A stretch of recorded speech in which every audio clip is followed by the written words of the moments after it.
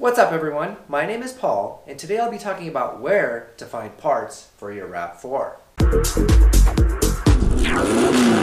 There isn't any one place that is best for getting all of your parts. I'm going to break this entire vehicle's worth of parts down into four main categories. First, your service and maintenance parts. So the stuff that normally wears out, you can generally buy from your local auto parts store. It's going to be a better price than the dealer, and usually the aftermarket replacement parts are good quality. Second, we're going to talk about original equipment parts available only at the dealer.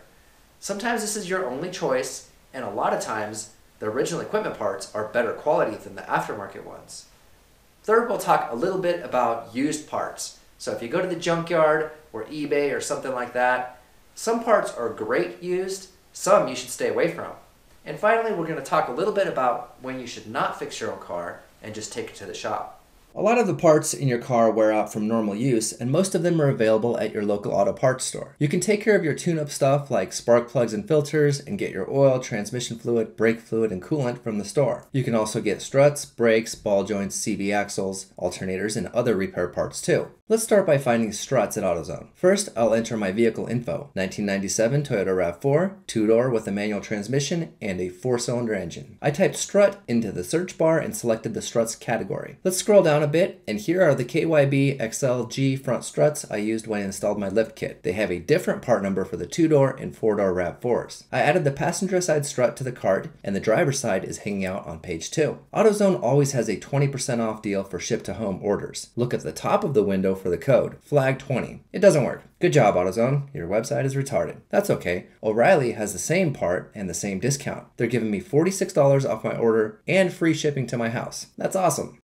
Let's try another example. I want new oxygen sensors. AutoZone has a few different brands of sensors. Toyota's come with Denso brand sensors from the factory, so that's what I want. They have the upstream sensor for $89 and the downstream for 63. With the discount code, my total is $121.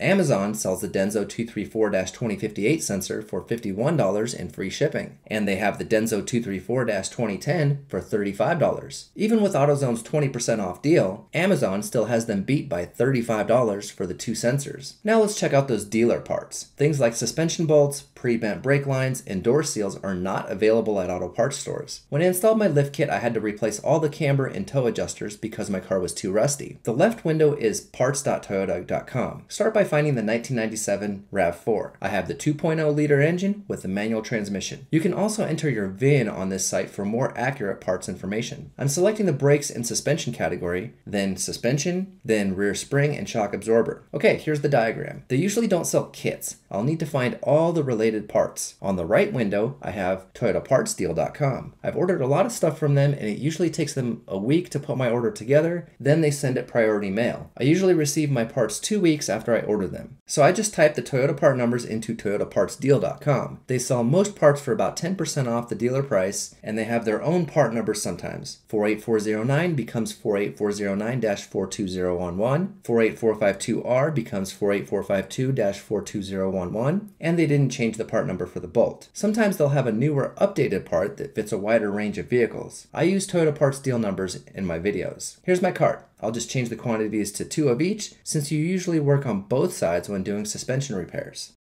Door seals should only be purchased from Toyota. The auto parts stores won't have them, and used seals are going to also be bad. This time I'm selecting body and interior, then door and lock components, then back door panel and glass. It's not on this diagram, so I'll look at the other diagram. Here we go, 67881A. Toyota Parts Deal has the back door weather strip for $96.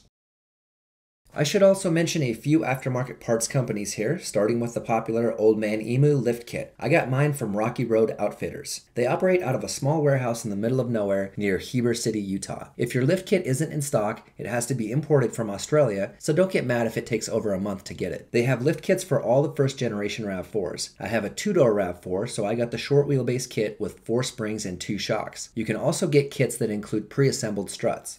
Another site I've used is Moog Suspension Parts. They have some good aftermarket replacements for ball joints, tie rods, control arms, and wheel bearings. If you want car stereo, Sonic Electronix is an excellent choice. Enter your vehicle information and it tells you what size the radio and speakers are. I want to get a new radio soon. This Kenwood multimedia player with Bluetooth looks nice. Sonic Electronix gives you a one year warranty on almost everything, and they usually include free installation accessories with your radio. Let's talk about the junkyard. I was gonna go there today for you guys, but eh, sometimes you just gotta half-ass stuff.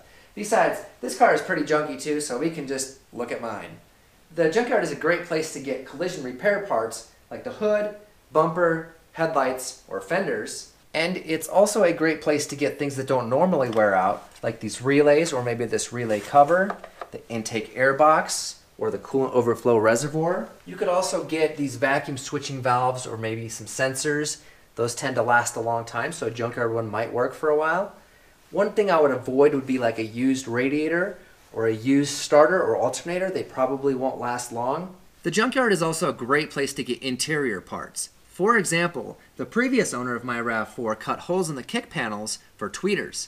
I don't know why, since you can't hear with your feet, but I paid $5 each for these new kick panels, and I can fix that problem. If you find a car that isn't rusty, you can take things like control arms, cross members, maybe even a differential, but I wouldn't take the axles or shocks because they're probably worn out. When I installed my lift kit, I had to replace the rear differential cross member because mine was too rusty. I bought that part used on eBay instead of going to the junkyard, rolling around in the dirt, hoping I can break all these bolts loose. It did cost me a little bit more, but sometimes it's worth it. I do all my own repairs except for when expensive equipment is required. For example, I don't have a tire machine, I'm not going to try to change my own tires. I'm not going to go buy an alignment rack. I don't have the machine to recharge the air conditioning system. For those repairs, I'll take my car to the shop and let those guys do it then when I get my car back, I'll double check to make sure they didn't mess it up. I hope that was useful for you guys, and if you'd like to share your favorite place to buy RAV4 parts, please leave a comment below, and I'll see you guys next time.